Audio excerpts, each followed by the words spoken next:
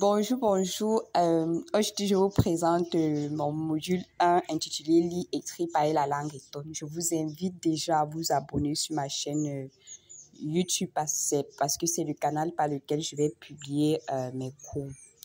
Le premier cours de ce module concerne les consonnes.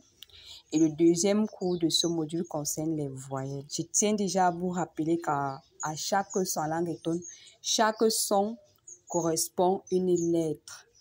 Le troisième cours, c'est le plus important et j'espère que vous serez disposés. Ce cours concerne les tons. C'est très important. Si vous voulez parler une langue africaine, par ça va vous aider pour les tons, ça va vous aider aussi pour d'autres langues, les autres langues africaines. Si vous voulez parler une langue africaine, il faut maîtriser les tons. Et je vais vraiment m'appliquer pour que vous puissiez euh, comprendre et maîtriser cette notion de ton-là, parce que les tons, c'est une langue à ton.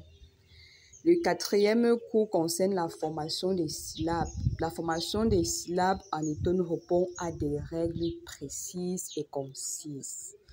Donc, je vous invite à vous abonner, à partager et à inviter vos amis à vous abonner à notre page euh, YouTube, Facebook, Instagram et bientôt TikTok.